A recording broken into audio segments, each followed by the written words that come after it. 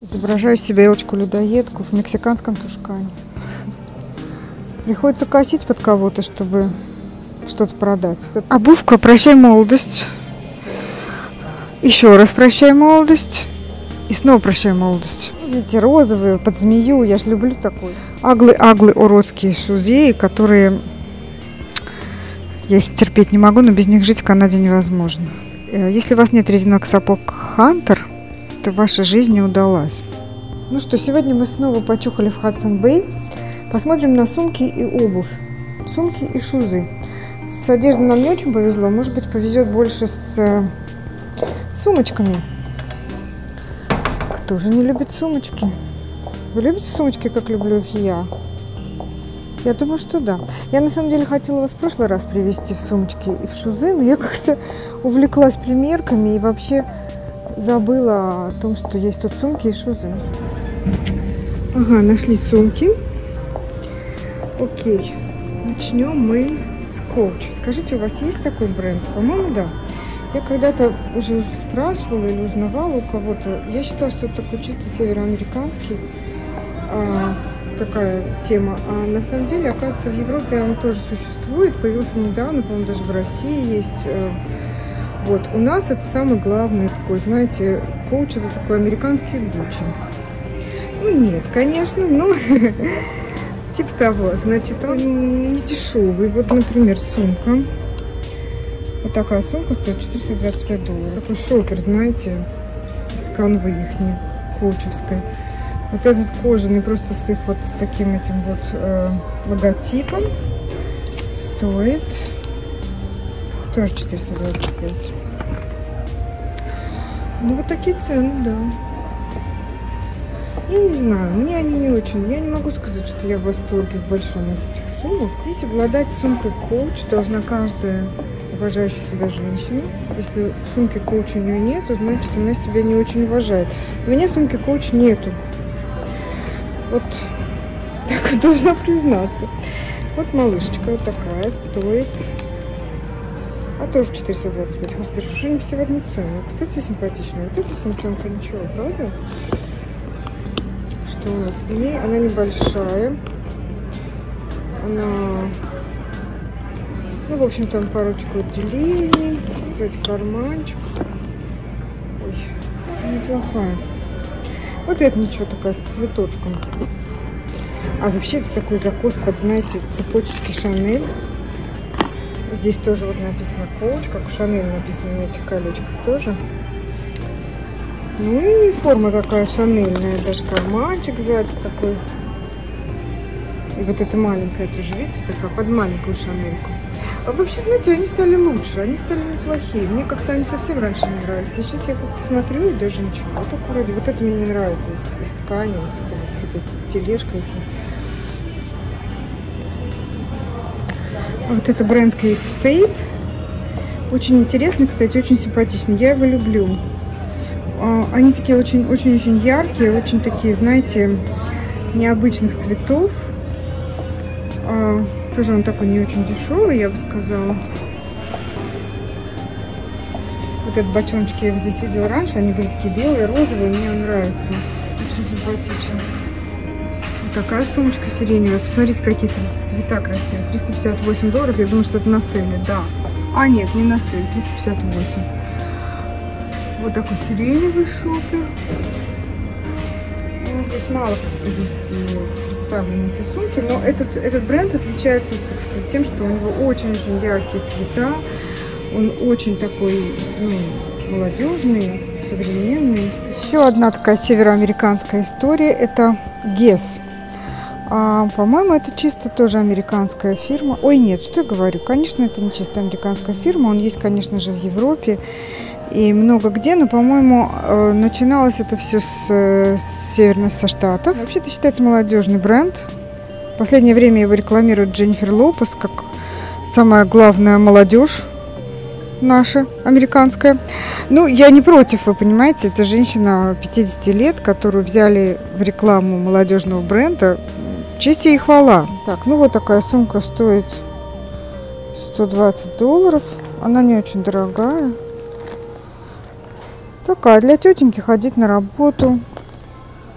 брать с собой компьютер, брать с собой ежедневник, брать с собой ланч. Так, это тоже закусик под Шанель. Сколько она стоит? Тоже 120 долларов. Ну, прям такой закус-закус под Шанель. Видите? И ручки, цепочки, и ткань вот эта вот э, шанельная. Ну, что делать? Приходится косить под кого-то, чтобы что-то продать. Вот это такая маленькая. А вот здесь клиренс, поэтому здесь есть все. Здесь есть Guess, здесь есть Calvin Klein. Так, вот маленький Guess тоже на сейле. 75, стоил 125. А что вот это такое смешное? Ах, это Карл. Ну вот мы и встретились, Карл. Мы снова вместе. Ну, такой Карл. Она стоит сейчас на сейле 159, а стоила там что-то такое 228. Ну вот, сердца, жемчуга и написано Париж. Очень романтичная сумочка. Какой-то интересный бренд называется вот так. It Spring. И здесь такие маленькие малютки. А это на пояс. Вот хорошенькая сумочка. А вот это мне понравилось. Смотрите, какая симпатичная. Посмотрите. Приятно. Я не думаю, что это кожа. Я даже думаю, что это не кожа. Стоит она 40 долларов, естественно. Это, наверное, на сейле, но, конечно, все равно это не кожа. Это такой за закос под клоя, видите, с такой цепочечкой. Ну, всего, что здесь есть... Ага, у нее, значит, есть такая ручка такая вот ручка коротенькая, что ее можно как багетик под мышку носить, а есть такая ручка длинная. Идемте-ка посмотрим в зеркало, как она выглядит. Привет, привет, ваш покорный слуга. Притащила с собой сегодня горжетку. Хотела вас поразить своей элегантностью. Но вы знаете что, она такая неудобная, она с меня все время сползает, спадает, и я, в общем, мучаюсь с ней, конечно. Изображаю себе елочку-людоедку в мексиканском тушкане. Вот. Да, хотела вот быть такая элегантная дама.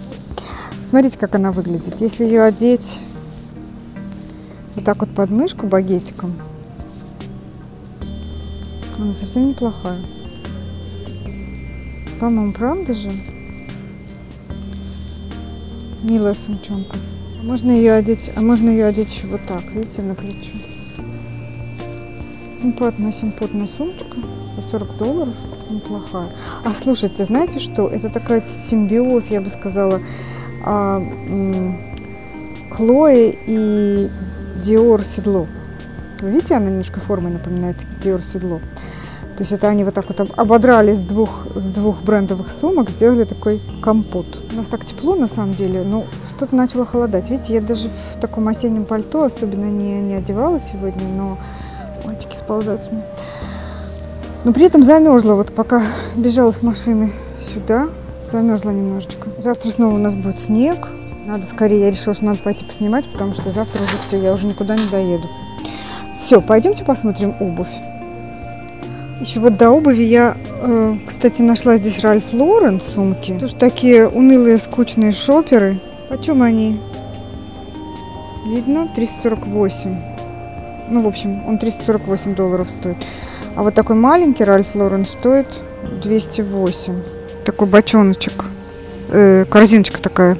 Это сумки Кельвин Кляйн. Вот, вот это 178 бочоночек.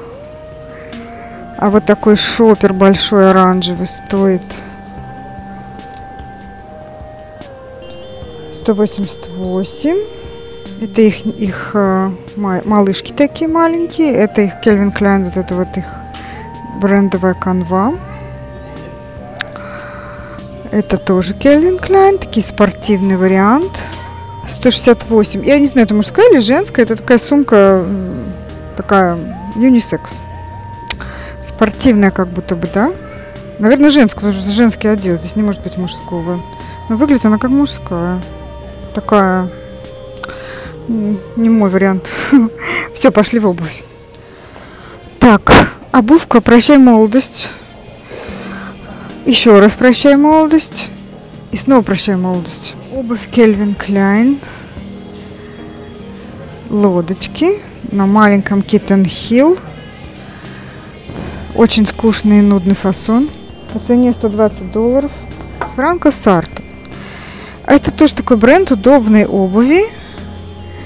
Ну, ничего, такие симпатичные, правда же? Макасины. Цвет красивый. 99. Шлепанцы на пляж ходить. Шикарные диваны. Мне здесь больше нравятся диваны, чем обувь. Такие ботиночки беленькие. Почем они?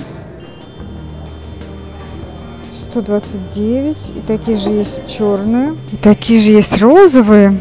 И такие же есть замшевые. Потом вот этот вот Cold Spring. Это то, что я это сейчас сумочку примеряла. Симпатичные. Видите, какие ботиночки? Очень ничего. Миленькие. Стоят 75 долларов. Неплохо, не страшно. Это не очень дорогой бренд, но довольно симпатичный. Так он называется. Честно, никогда не слышала про него. Здесь какие-то бренды, о которых я никогда не слышала. здесь начинает шуметь музыка. Я сейчас удаляюсь отсюда подальше, чтобы меня не штрафовали. Товарищ с Ютуба. Товарищ с Ютуба, не штрафуйте меня. Ага, босоножки летние уже. Что это? Кто это? Expression называется. Экспрессион. 80 долларов тоже такой бренд. Вот он называется Expression. Никогда не слышала про него. Что за бренды, про которых я никогда не слышала? Я какая-то деревенская тетка, которая ничего не знает.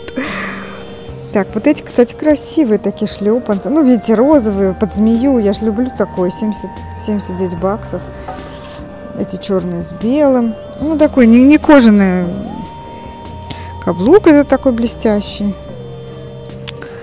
Да. А вот это вот, вот это вот самые-самые любимые э, в Канаде, самая, самая лучшая обувь, которую все очень любят, она сейчас на сейле, потому что зима кончается. Это бренд, кстати, Sorel, это канадский бренд. Вот они waterproof, они такие, знаете, калоши с валенками, валенки с калошами. То, что надо для нас. Это самая первая обувь в Канаде. Она сейчас на сейле 60%, а вот эти вот, видите, такие меховые. Сейчас они 130 стоили долларов, сейчас они стоят 94. Чтобы вы понимали, удобство недешево у нас продается. Ну вот они всякие такие аглы-аглы уродские шузеи, которые я их терпеть не могу, но без них жить в Канаде невозможно. А вот резиновые ботики, тоже очень популярная тема у нас. Коротенькие.